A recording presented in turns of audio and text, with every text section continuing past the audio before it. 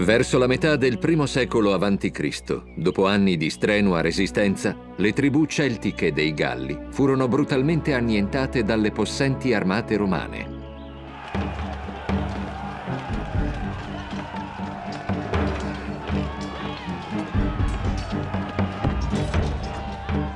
Fu una disfatta sanguinosa e di proporzioni enormi. Nel corso di una guerra che si protrasse per oltre otto anni, i Romani uccisero circa un milione di Galli e ne ridussero altrettanti in schiavitù.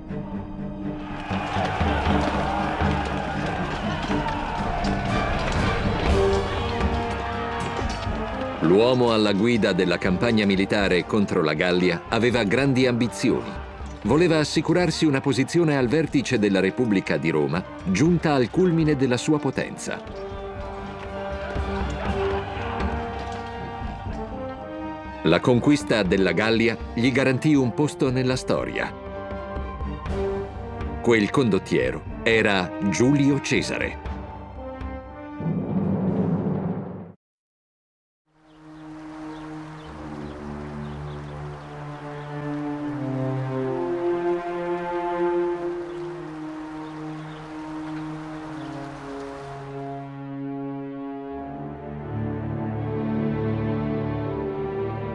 Nel primo secolo a.C. Roma dominava il Mediterraneo da occidente a oriente, dalla Spagna alla Siria.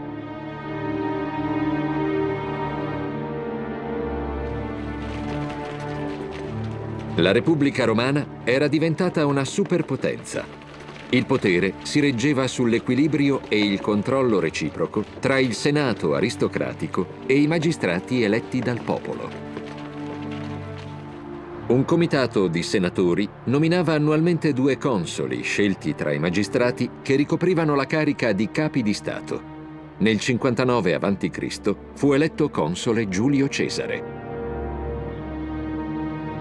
La famiglia di Cesare, la gens Iulia, era un'antica dinastia patrizia.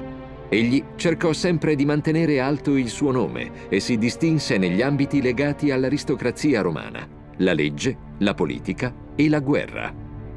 I suoi pari però credevano che Cesare fosse un ambizioso populista. Infatti, per raggiungere il potere, cercò sempre di ottenere il favore del popolo. Il suo naturale esibizionismo, la disinvolta generosità e la fama di seduttore contribuirono ad accentuare il suo fascino popolare. Cesare era una figura estremamente interessante. Proveniva da una delle più antiche famiglie della città. Era un aristocratico. Ma fin dall'inizio della sua carriera politica si schierò dalla parte dei populares o democratici, seguendo l'esempio dello zio Caio Mario. La sua scelta politica gli costò l'ostilità del Senato, ma Cesare era un uomo molto ambizioso e riuscì a trovare molti sostenitori fino a raggiungere i più alti livelli della magistratura romana. Il suo comportamento suscitava sentimenti contrastanti. Cesare non era apprezzato tra l'aristocrazia romana, ma era un politico molto amato dal popolo. Il suo obiettivo era raggiungere il potere con il consenso della gente comune, promettendo di promulgare leggi in loro favore. Per un uomo appartenente alla nobiltà fu un progetto molto radicale, preoccupante agli occhi dei conservatori. I suoi avversari politici si convinsero che Cesare fosse un soggetto effettivamente molto pericoloso. Infatti, nel 63 a.C. venne eletto pontefice massimo di Roma grazie a una sfacciata campagna di corruzione condotta principalmente con il denaro di Crasso.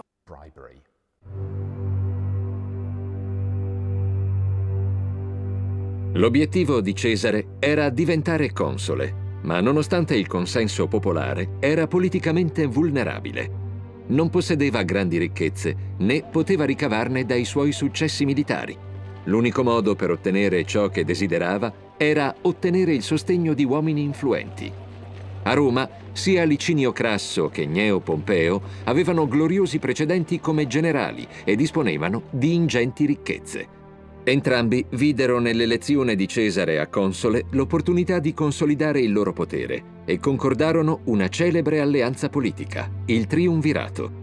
Cesare fu eletto console. In accordo con i membri del Triumvirato, promulgò nuove leggi riguardanti i comandi delle province. Così, terminato il suo incarico, nel 58 a.C. ottenne per cinque anni il proconsolato della Gallia Cisalpina, della Gallia Narbonese e dell'Illiria province strategiche che garantirono a Cesare il controllo di un grande esercito, una forza militare che gli offrì l'opportunità di intraprendere un'imponente campagna in Gallia.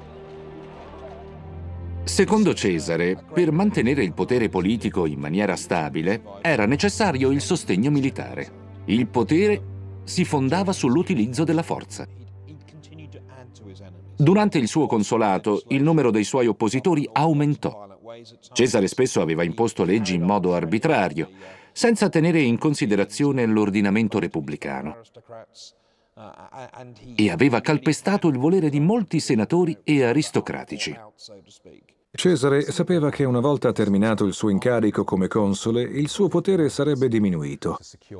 Per non perdere popolarità doveva assicurarsi un importante comando militare, ma sarebbe stato difficile ottenerlo.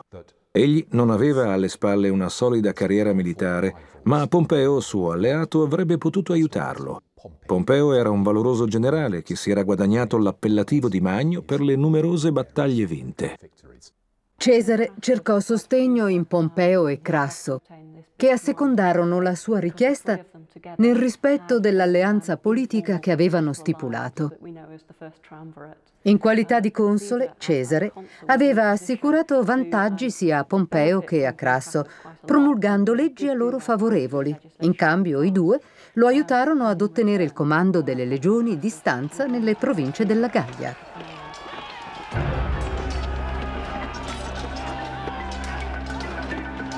In passato, tra Roma e le tribù celtiche della Gallia si erano verificati numerosi conflitti.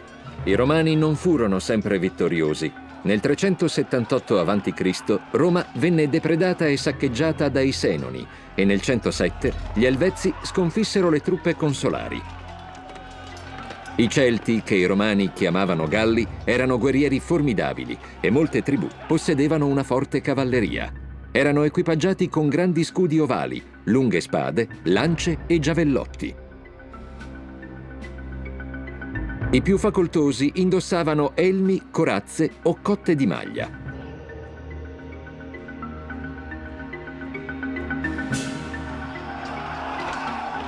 L'assalto dei guerrieri galli era terrificante. La forza della loro carica impressionava i nemici, che spesso, impreparati a un attacco del genere, venivano annientati. Non si può affermare con certezza che le tribù celtiche delle province non ancora romanizzate costituissero una reale minaccia per la sicurezza di Roma. Di fatto erano molto lontane dal cuore dell'impero, poco organizzate e soprattutto in costante lotta fra di loro. All'epoca di Cesare era difficile valutare l'entità della minaccia celtica. Oggi alcuni storici ritengono che fosse del tutto trascurabile, anche se in passato i Galli avevano già rappresentato un pericolo per Roma.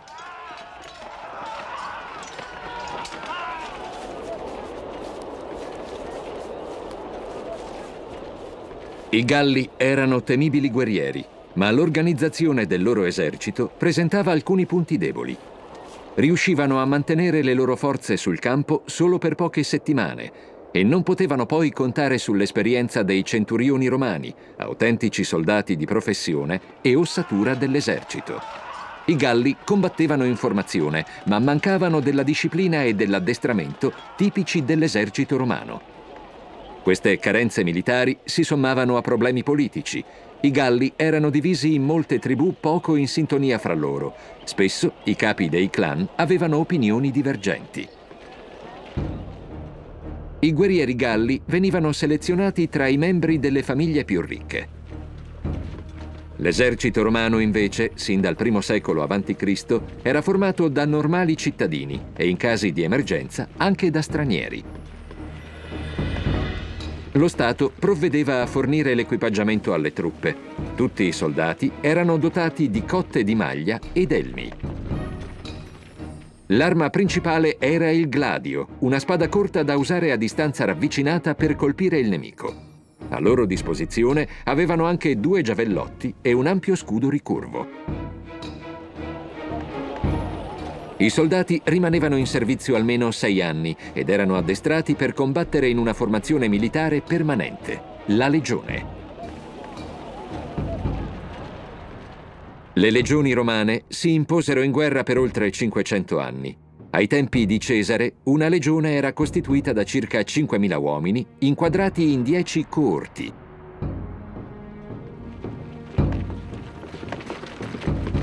La legione rappresentava una specie di famiglia allargata a cui i soldati giuravano fedeltà davanti all'insegna con l'aquila d'oro, simbolo dell'esercito romano.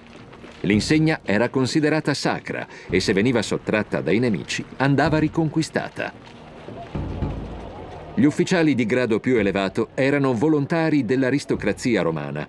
C'erano poi i legati, generali aggiunti nominati dal Senato.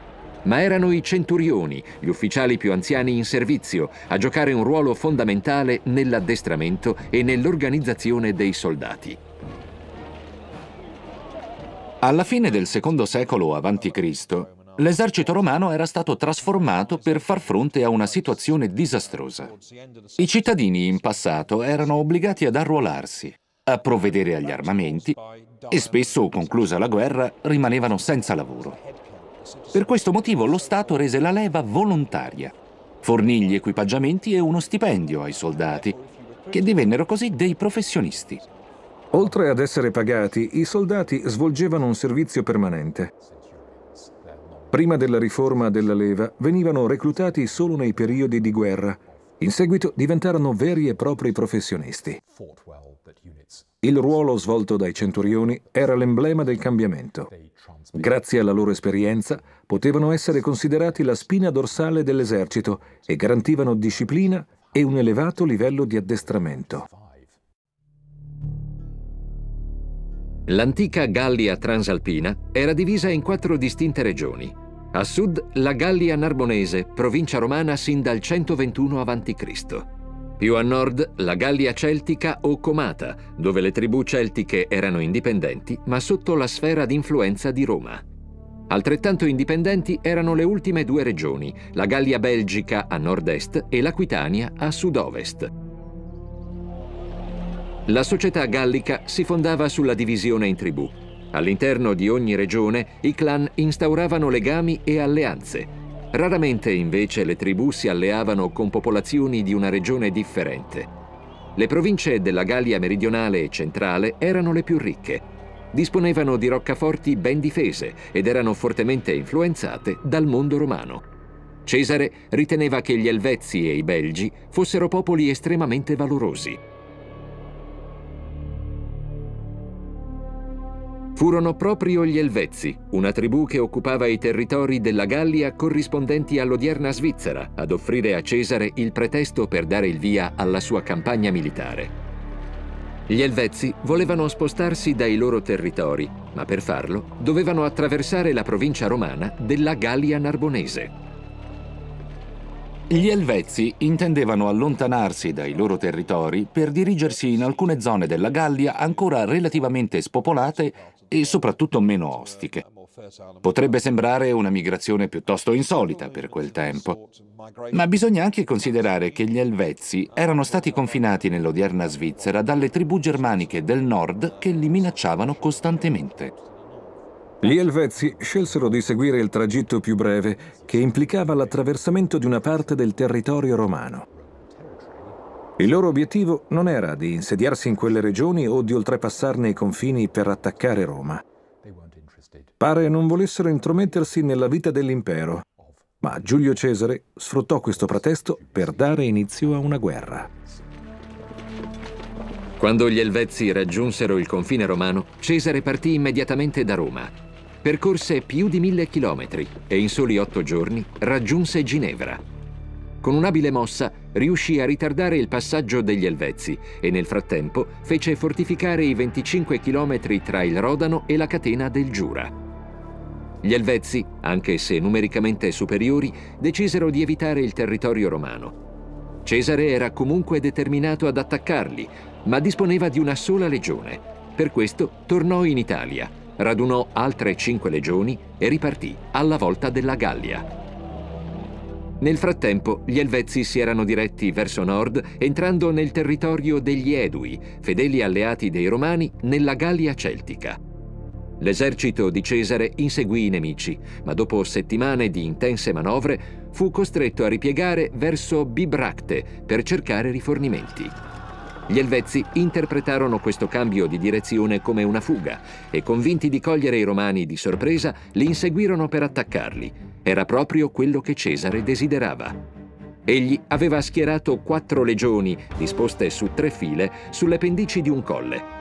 Le altre due legioni e le truppe ausiliarie, che costituivano la riserva, erano posizionate invece sulla cima.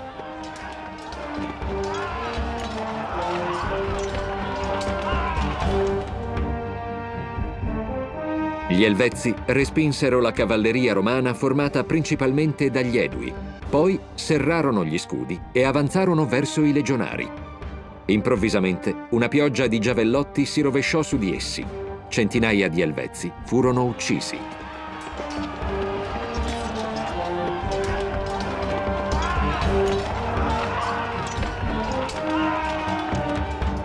La prima fila della fanteria romana avanzò quindi alla carica e costrinse gli Elvezzi, oramai disorientati, ad arretrare. Inaspettatamente, una nuova forza composta da diverse migliaia di guerrieri attaccò il fianco destro dell'esercito romano. Cesare, con grande padronanza, fece avanzare la terza fila ed ottenne la vittoria. Gli Elvezzi si arresero e accettarono di far ritorno alle loro terre. Fu una sconfitta disastrosa. Spesso le battaglie vinte dall'esercito romano causavano un numero elevato di vittime tra i nemici. Generalmente i romani erano molto abili nel rendere la sconfitta ancor più devastante per gli avversari. I soldati di Cesare massacrarono i guerrieri, saccheggiarono i villaggi e uccisero molte donne e bambini. Molti galli vennero imprigionati e fatti schiavi. Quando le truppe romane sconfiggevano i nemici, si comportavano a volte in maniera estremamente feroce, scatenando una vera e propria carneficina. Dopo aver costretto gli Elvezzi a tornare nelle loro terre, Cesare dichiarò guerra agli Svevi, una tribù germanica stanziata a ovest del Reno. Le tribù germaniche minacciavano da tempo i confini della Gallia narbonese. Nel 105 a.C. i Cimbri e i Teutoni avevano inferto ai Romani una tremenda sconfitta. I racconti sui feroci guerrieri germanici avevano impressionato i soldati di Cesare a tal punto che durante l'avanzata verso gli Svevi, una volta giunti a Vesonzio, l'odierna Besançon, rifiutarono di proseguire. Ma Cesare, con un forte discorso, incitò l'esercito a continuare la marcia. La tradizione popolare lascia intendere che i germani o barbari apparvero più tardi. I barbari, circa 300 anni dopo le guerre galliche, furono una delle cause della caduta dell'impero romano. Ma effettivamente questi popoli minacciavano Roma da lungo tempo e avevano sconfitto i romani diverse volte. Una delle battaglie in cui l'esercito romano perse il maggior numero di soldati fu la celebre battaglia di Canne. Anche la battaglia di Arausio fu per i romani una tremenda disfatta. Per questo motivo i germani erano considerati una forza davvero temibile.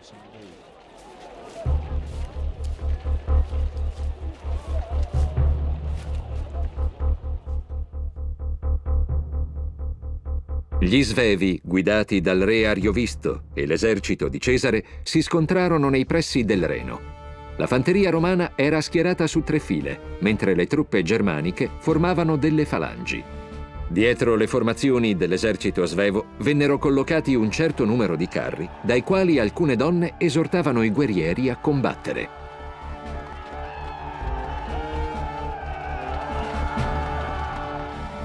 Cesare ordinò ai Romani di attaccare il lato sinistro dello schieramento nemico, ma i Germani si riversarono a loro volta sulle truppe dislocate all'ala sinistra dell'esercito romano. La sconfitta dei Romani sembrava imminente, ma l'arrivo di Publio Crasso, figlio del triumviro alleato di Cesare, capovolse la situazione. Ebbe inizio un vero massacro. La ritirata dei guerrieri svevi fu ostacolata dai loro stessi carri. I germani cercarono una via di fuga attraverso il Reno, ma molti morirono annegati. Cesare ottenne così la sua seconda vittoria. La campagna militare però non era ancora conclusa. Solo l'arrivo dell'inverno concesse una tregua ai Galli. I Romani furono costretti ad accamparsi nel territorio dei Sequani, una tribù alleata. La loro presenza fu un minaccioso avvertimento. Roma era lì per restare. La conquista della Gallia causò la morte di decine, se non addirittura di centinaia di migliaia di Galli.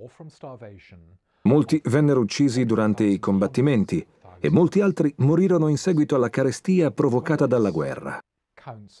L'azione dell'esercito romano fu micidiale e veloce. Probabilmente Cesare diede inizio alla conquista della Gallia per salvaguardare i confini dei territori romani. La minaccia di invasioni celtiche era infatti costante. Ma questo non fu l'unico motivo a spingerlo ad impegnarsi in una campagna militare di così ampia portata. La sua sete di potere era enorme. Egli probabilmente voleva assoggettare le tribù della Gallia per trovare fra i Galli stessi dei validi alleati. Se non fosse riuscito nel suo intento, avrebbe dovuto adottare misure più drastiche, come il massacro dei difensori delle roccaforti galliche, la riduzione in schiavitù della popolazione e, in ultimo, la mutilazione dei sopravvissuti. I progetti di Cesare, però, erano minacciati dalle tribù belgiche del nord-est, che radunarono un grande esercito per scacciare i romani. Cesare trascorse l'inverno lontano dai suoi uomini e tornò in Gallia nella primavera del 57 a.C. con due nuove legioni. Muovendosi con grande rapidità, raggiunse il territorio della tribù belga dei Remi, che divennero suoi alleati. I belgi non riuscirono a mantenere l'esercito unito. Dopo averlo disperso, Cesare riuscì a trattare con alcune tribù, costringendole a sottomettersi. Poi si spinse velocemente verso nord per prevenire il riassembramento delle altre tribù belgiche nel territorio dei Nervi. Ma questa volta la sua rapidità fu controproducente. Sul territorio dei Nervi il suo esercito rischiò la disfatta. I Nervi erano feroci guerrieri e avevano stabilito regole molto rigide per tutti i membri della tribù. Per esempio, avevano bandito i mercanti, in quanto i prodotti di lusso e il vino avrebbero potuto indebolire gli animi dei guerrieri. Una volta giunti nel loro territorio, i romani furono colti di sorpresa. Gran parte dei guerrieri della tribù si era nascosta in una fitta foresta nei pressi del fiume Sambre. I romani raggiunsero la zona in cui accamparsi e Cesare ordinò alla cavalleria di avanzare. La fanteria belga attese che i soldati romani iniziassero i lavori per la fortificazione dell'accampamento.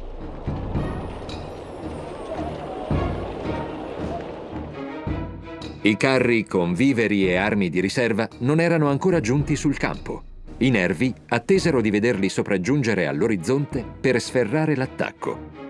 I belgi erano più numerosi e i soldati di Cesare erano impreparati. Nel giro di pochi minuti la cavalleria romana fuggì e la fanteria dei Nervi attraversò il fiume, riuscendo a penetrare in diversi punti attraverso le linee dei Romani. Molti legionari erano reclute e a peggiorare la situazione si aggiunse il terreno accidentato che impedì a Cesare di coordinare al meglio le truppe. Alcune unità romane furono così costrette a combattere isolate. Fu uno scontro all'ultimo sangue e i romani non furono sconfitti solo grazie a un'abile manovra. Sulla sinistra, la nona e la decima legione romana respinsero il nemico oltre il fiume, ma intorno all'accampamento non ancora ultimato, la settima e la dodicesima legione dovettero affrontare il grosso dell'esercito dei Nervi.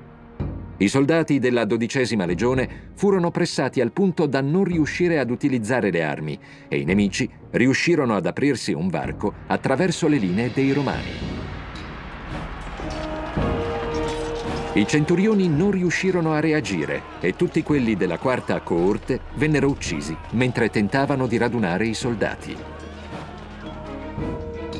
Quando la situazione della dodicesima legione si stabilizzò, Cesare si unì alla settima legione e ordinò ai soldati di formare un quadrato con gli uomini della dodicesima. La tenacia, l'autosufficienza di una legione e il suo comando dai centurioni a Cesare impedirono ai nervi di aggiudicarsi una vittoria decisiva. I Nervi subirono il tracollo definitivo quando Tito Labieno, legato propretore di Cesare, fece intervenire la decima legione. Nel frattempo arrivarono anche le altre due legioni con gli approvvigionamenti. I romani uccisero moltissimi guerrieri belgi, la cui ritirata fu ostacolata dalla fitta boscaglia. La battaglia della Sabre, in cui Cesare venne attaccato dai Nervi, si svolse in maniera piuttosto frenetica. I romani furono colti di sorpresa. Vennero aggrediti mentre si stavano trincerando. Un momento delicato per qualunque esercito, perché i soldati sono impegnati a costruire fortificazioni. Inoltre, quando i nervi respinsero la cavalleria e avanzarono verso la collina dove era schierato l'esercito di Cesare, le armi dei romani erano ancora sui carri con i viveri. Anche nelle battaglie in cui Cesare incontrò delle evidenti difficoltà, la situazione si risolse in suo favore e abbastanza rapidamente nella maggior parte dei casi. Ad esempio, contro i Nervi, la sua legione preferita, la decima, riuscì rapidamente a riorganizzarsi e a respingere il nemico oltre il fiume conquistandone l'accampamento. Quindi anche in battaglie come questa, nonostante gli evidenti problemi, Cesare non subì mai ingenti perdite. Nel debello gallico, Cesare sostenne che quella contro le popolazioni della Gallia fu una lotta quasi alla pari. Probabilmente, non volendo sminuire le sue vittorie, descrisse i Galli come popolazioni davvero feroci e difficili da sconfiggere.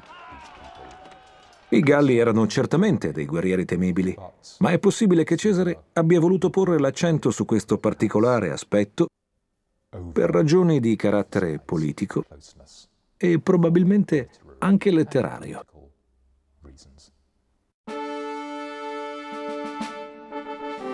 La sconfitta dei Nervi rappresentò la terza grande vittoria di Cesare, ma anche il momento in cui rischiò maggiormente la disfatta.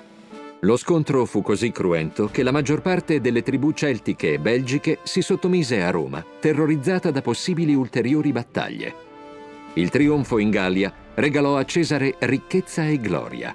Il Senato romano, per la prima volta, decretò 15 giorni di celebrazioni. La Gallia era conquistata, o almeno così pensavano i romani. Invece, il rancore nei confronti di Cesare dilagò nell'intero mondo gallico.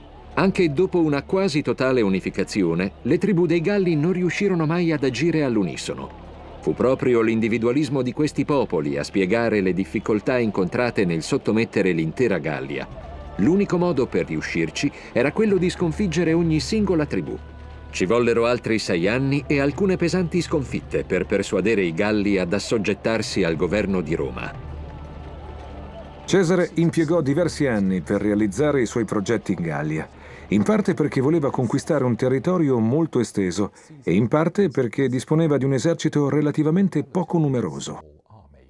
Ogni singola tribù celtica agiva in base alle proprie necessità. Per realizzare l'unificazione della Gallia sotto il governo di Roma, Cesare fu costretto a misurarsi in battaglia con ciascuna tribù. Solo dopo averle sconfitte e sottomesse con la forza, i romani riuscirono a ottenere una sorta di pace generale in tutta la Gallia transalpina.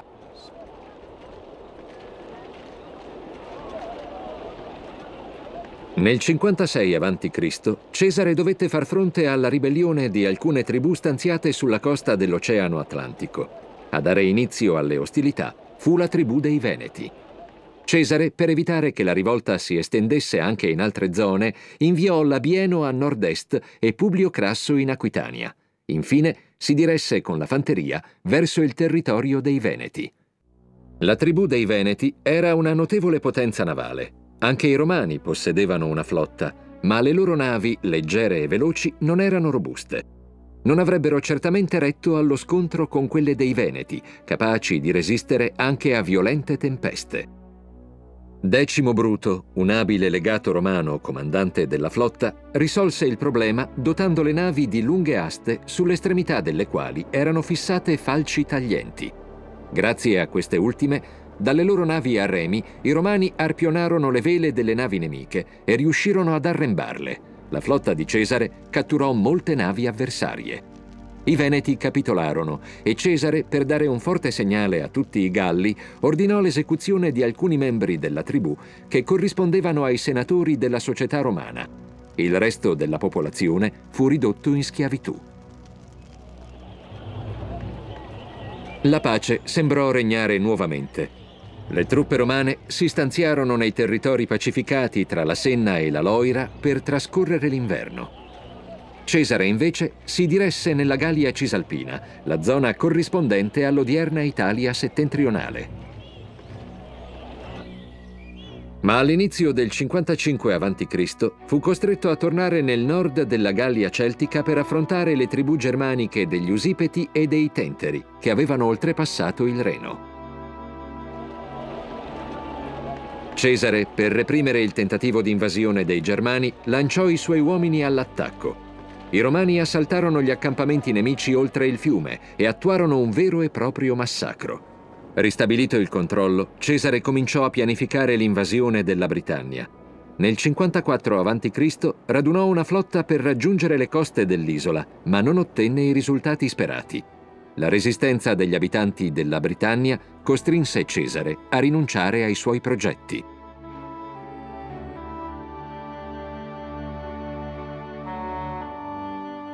Cesare trascorse l'inverno tra il 54 e il 53 a.C. in Gallia, poiché temeva possibili conflitti con i Treveri e i Carnuti. Ma in realtà furono gli Eburoni a dare inizio a una rivolta. Guidati da Ambio Rige, attaccarono un insediamento romano a nord dell'odierna Liegi. L'esercito di Cesare subì un'imboscata in cui 15 coorti vennero annientate. La vittoria degli Eburoni incoraggiò il propagarsi della rivolta. Anche i Nervi si unirono all'insurrezione e assediarono l'accampamento romano presente sul loro territorio, ma Quinto Cicerone organizzò una difesa efficace e resistette all'assedio per oltre un mese fino all'arrivo di Cesare alla testa di due legioni. Anche i Treveri si unirono alla rivolta, ma furono sconfitti da Labieno. Durante la campagna militare in Gallia, Cesare si lasciò spesso sorprendere dalle rivolte locali pur trattandosi di fenomeni tutt'altro che insoliti. I tumulti erano all'ordine del giorno. Molte tribù si erano arrese senza combattere perché temevano di essere coinvolte in sanguinose battaglie e di fatto si assoggettarono immediatamente ai romani. Ma non appena si rendevano conto di aver perso totalmente la loro indipendenza, davano inizio a pericolose rivolte.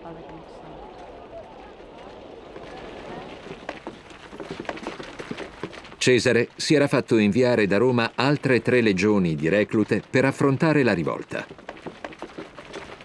Pur di riuscire ad annientare le tribù degli Eburoni e dei Treveri, fece voto di non tagliarsi i capelli né di rasarsi finché non avesse vendicato le coorti perdute nell'imboscata.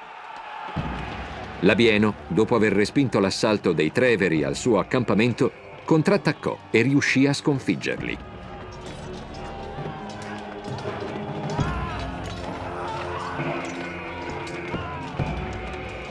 Cesare nel frattempo si era diretto a nord, aveva annientato gli Eburoni e devastato la loro regione.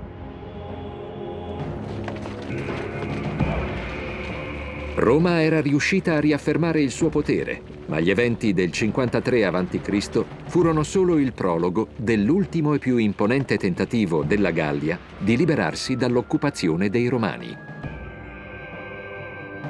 Nel 52 a.C. ebbe inizio la più organizzata tra tutte le insurrezioni che Cesare dovette affrontare. Molte tribù della Gallia si unirono alla rivolta contro i Romani e formarono un grande esercito. Come comandante supremo scelsero Vercingetorige, un giovane guerriero della tribù degli Arverni.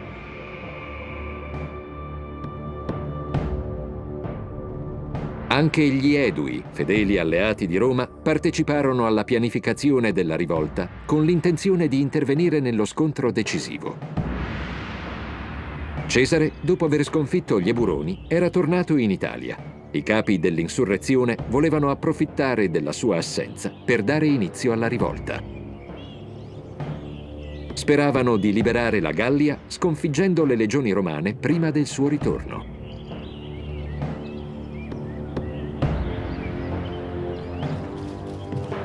Durante l'avanzata, i Galli uccisero tutti i mercanti romani che incontrarono sulla loro strada e cercarono di convincere altre tribù a unirsi alla rivolta. La maggior parte dell'esercito romano si trovava sul territorio dei Galli Senoni che si erano alleati ai rivoltosi. I romani si trovarono così senza rifornimenti e non poterono contrastare l'avanzata dei nemici. Nel febbraio del 52 a.C., gran parte della Gallia comata era ormai nelle mani di Vercingetorige. Un grande esercito gallico si preparava ad attaccare la Gallia narbonese. Vercingetorige era un guerriero audace e valoroso. All'epoca era probabilmente il più adatto a ricoprire il ruolo di comandante dei Galli. Aveva la stoffa e il carisma di un abile condottiero e riuscì a compiere qualcosa di eccezionale. Sotto il suo comando, i guerrieri di popolazioni molto diverse fra loro misero da parte le divergenze e diedero vita a un'alleanza. Questo fu possibile grazie all'abilità diplomatica del loro comandante.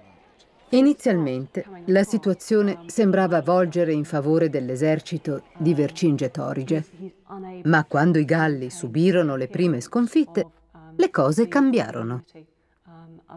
Il valoroso comandante non riuscì a mantenere la compattezza tra tutte le tribù e la fragile coesione dei Galli svanì.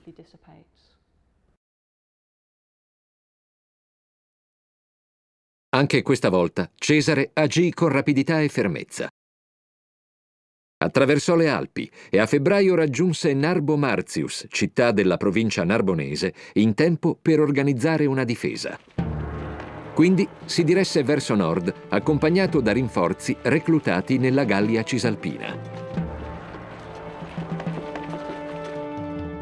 Cesare superò la catena innevata delle Cevennes e riuscì a ricongiungersi con le legioni stanziate nella Gallia centrale. L'esercito romano passò dunque all'offensiva e conquistò in breve tempo diverse città fortificate, tra cui Cenabo, l'odierna Orléans la capitale dei Carnuti. Vercingetorige preferì evitare lo scontro diretto e cercò di affamare il nemico impedendogli di ricevere rifornimenti. Ordinò alle truppe alleate di incendiare tutti i villaggi e di bruciare le scorte di cibo per negare ai romani ogni possibile risorsa. I biturigi incendiarono 20 delle loro città ma si rifiutarono di distruggere Avaricum, l'odierna Bourget, che fu assediata dall'esercito di Cesare. I romani non ebbero nessuna pietà. Dei 40.000 abitanti della città, soltanto 800 sopravvissero al massacro.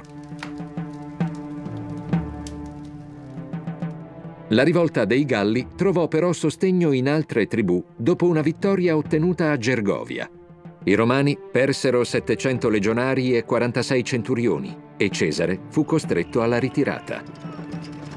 L'apparente vulnerabilità di Cesare convinse gli Edui a schierarsi con Vercingetorige. Gli Edui attaccarono i Romani e conquistarono Novio Dunum, che era stata occupata dai soldati di Cesare. Fu il momento di maggior successo per i Galli, ma Cesare era pronto al contrattacco e unì le sue forze con quelle di Labieno che pochi giorni prima aveva sconfitto i Parisi. I Romani si diressero verso Digione e Vercingetorige, probabilmente convinto che Cesare fosse in fuga, decise di attaccare. In formazione di marcia, i Romani risultavano vulnerabili all'attacco della cavalleria gallica. Le legioni adottarono la classica formazione a quadrato con le salmerie al centro. Sebbene numericamente inferiore, la cavalleria romana, formata anche da guerrieri remi e germani, sconfisse i Galli. Scoraggiato dall'insuccesso, Vercingetorige si ritirò nella città di Alesia. Fu un errore fatale. Vercingetorige si trovò in una situazione delicata. Il principale problema del comandante dei Galli era mantenere la coesione tra le diverse tribù che lo sostenevano e la sconfitta nei pressi di Digione minacciò la stabilità del suo esercito. Vercingetorige scelse di dirigersi verso Alesia perché era convinto che una pausa nei combattimenti potesse giovare sia al morale che all'unità dei suoi soldati. Alesia era una città fortificata posta sulla sommità di un altopiano molto elevato. L'esercito gallico era accampato nella parte occidentale e aveva eretto un muro per difendersi. Le zone a nord e sud erano protette da due fiumi e una catena di colline circondava la città, ostacolando l'accesso. Questo luogo sembrò a Vercingetorige un posto sicuro dove poter recuperare le forze.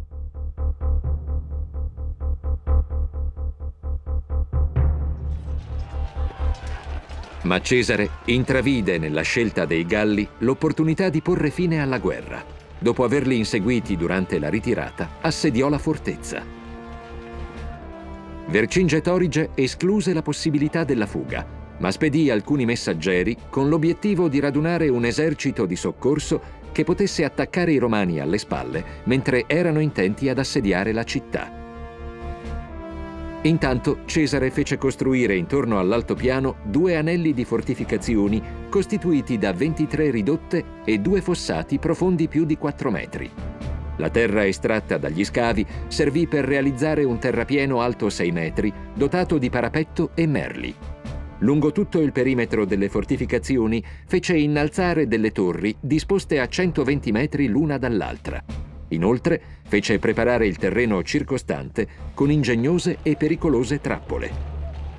Dei tronchi con la punta aguzza e indurita con il fuoco vennero piantati in alcuni fossati, la cui parte superiore venne ricoperta con arbusti per nascondere il pericolo ai nemici. Dopo questi primi ostacoli vennero scavate delle file di buche in cui i romani piantarono tronchi con rami aguzzi e molto robusti.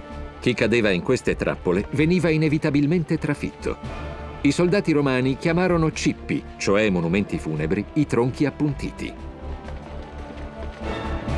I circa 60.000 uomini di Cesare avevano buone ragioni per essere ottimisti. Disponevano di rifornimenti per almeno 30 giorni e nessuna forza gallica era mai riuscita a superare un tale sbarramento fortificato. C'erano solo due punti deboli. Nella zona orientale dove erano state posizionate le trappole, il terreno era relativamente piano. E più a nord, la costruzione di opere difensive si era rivelata piuttosto difficoltosa a causa dei pendii scoscesi. La situazione per le truppe di Vercingetorige assediate all'interno della città era molto difficile. I Galli cercarono in tutti i modi di liberare Alesia. L'esercito di soccorso, sostenuto da alcuni attacchi lanciati dalla città, scatenò tre successivi assalti contro i Romani i primi due da est e il terzo da nord. I primi due tentativi furono contenuti con relativa facilità, ma il terzo causò a Cesare qualche problema. 60.000 galli attaccarono il settore più debole delle difese romane. A nord i Galli si posizionarono su una collina, riuscendo così a colpire i soldati romani schierati oltre le palizzate. I soldati che tentavano di aprirsi un varco tra le linee romane incitavano le truppe di Vercingetorige assediate all'interno della città ad attaccare a loro volta. In effetti ci fu un attacco proveniente da Alesia, ma gli assediati non riuscirono a riunirsi con le forze di soccorso. I soldati romani impiegarono tutte le armi a loro disposizione per respingere i nemici. Nel frattempo, i Galli assaltarono altri settori delle difese romane e Vercingetorige sferrò un attacco dall'alto della fortezza. Le truppe galliche misero a dura prova i soldati romani schierati in prossimità del terrapieno. Cesare, temendo il collasso della linea difensiva, inviò rinforzi. Poi individuò ancora una volta con perspicacia dove si trovava il pericolo maggiore. Egli stesso giunse sul campo di battaglia con altri uomini e riprese l'iniziativa lanciando un attacco. Quando i Galli videro arrivare la cavalleria romana condotta da Cesare, si diedero alla fuga. Alesia fu conquistata e i Galli sconfitti. Il giorno seguente, Vercingetorige uscì a cavallo dalla città per arrendersi. Si inginocchiò davanti al conquistatore, ma Cesare rimase impassibile. Per quel ribelle non avrebbe avuto nessuna clemenza. I soldati appartenenti alle tribù degli Edui e degli Arverni furono liberati. Queste tribù giurarono nuovamente fedeltà ai Romani, dichiarandosi loro alleate. I soldati delle altre tribù che avevano difeso la città furono invece ridotti in schiavitù. La grande rivolta della Gallia era stata sedata, ma le insurrezioni proseguirono. Cesare decise perciò di rimanere in Gallia durante l'inverno tra il 52 e il 51 a.C. per consolidare il suo predominio. L'ultimo atto della campagna militare in Gallia fu la conquista della roccaforte di Uxello Dunum nei pressi dell'odierna Veirac. Cesare era determinato a dare un chiaro messaggio ai popoli sottomessi.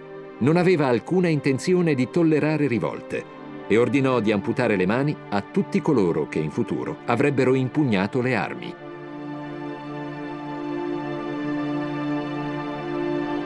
Nel corso dell'intera campagna, circa un milione di Galli cadde ucciso in battaglia e altrettanti furono ridotti in schiavitù.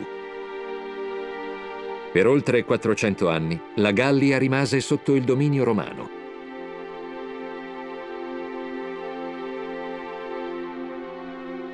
Cesare era giunto in Gallia come un politico ambizioso. Al suo ritorno a Roma era diventato un conquistatore estremamente ricco e con al seguito un esercito a lui fedele. A Roma, però, Pompeo, un tempo suo alleato, aveva organizzato un esercito per annientarlo. Ma con il sostegno dei suoi soldati, Cesare uscì vittorioso anche dalla guerra civile. Furono proprio le sue vittorie in Gallia ad assicurargli un trionfante dominio sul mondo romano.